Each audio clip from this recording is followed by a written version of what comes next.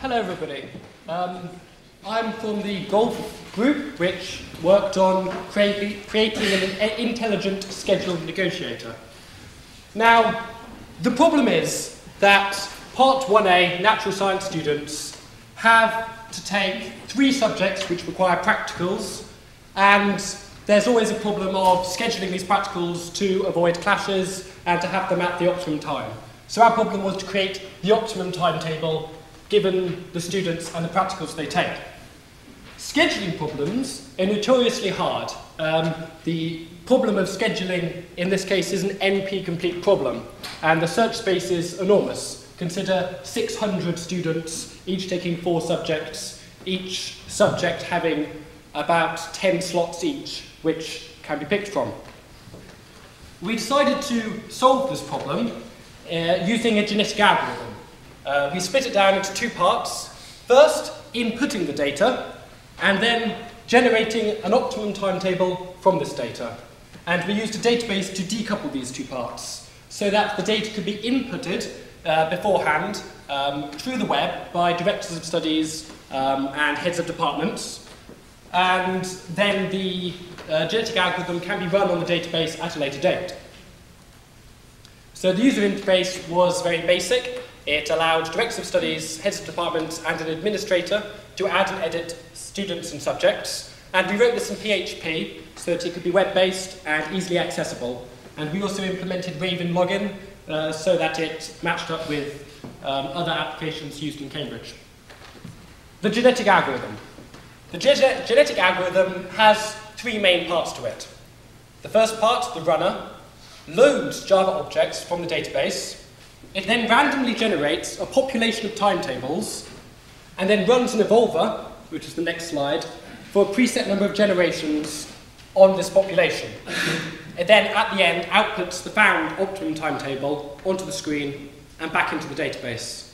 We implemented the entire genetic algorithm in Java because it was a language which we were all familiar with. The idea of the evolver is for each member of the population, it calculates a fitness. It then orders the members of the population by fitness and then uses elitism to pick the best members of the population. Then it uses crossover and mutation techniques on this best uh, subset of the population to create a new generation population, culling off those with suboptimum fitnesses. And whilst it's doing this, our program runs running statistics, so the person running the algorithm can see how well it's doing. And the question is, how do we generate this fitness? Because obviously it's the crux of the issue. Well, calculating fitness.